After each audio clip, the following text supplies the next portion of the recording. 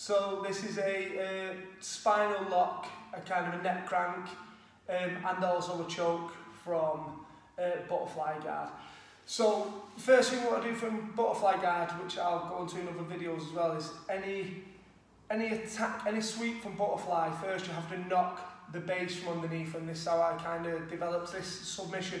So when I'm in butterfly, way I got taught it first, a long time ago, is kind of get the underhook, the overhook, and I roll right onto my shoulder, and I, and I kick up, and I, I try to get basically as, as tight into that roll as I can.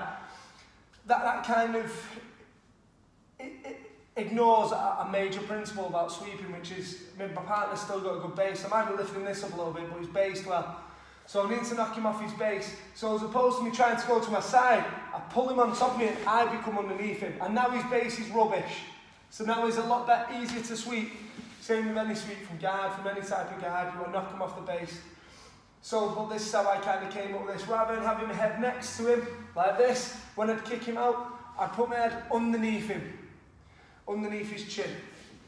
So now rather than getting the over under, I go double unders and I make this gable grip here and I go kind of low on his spine and I find my head underneath his chin.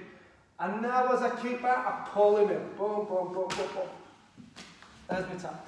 I go, I go for this first, aiming for getting the sweep, but a lot of the time I'll just get the sub, so I'll, I'll, I'm happy with that. So one more time, I'll do from this angle once more and then a different angle. I get double on this and I throw myself underneath him. And I have my head underneath his chin. I want to pull him in and I want to kick out. Boom, boom, boom, there's my tap. So one more time from maybe this way.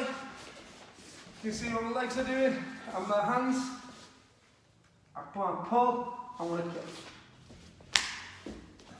And there's my tap. It's like a spinal lock bit of a neck crank, is a bit of a choke as well, is just horrible. But if you're fail, failing that, you can just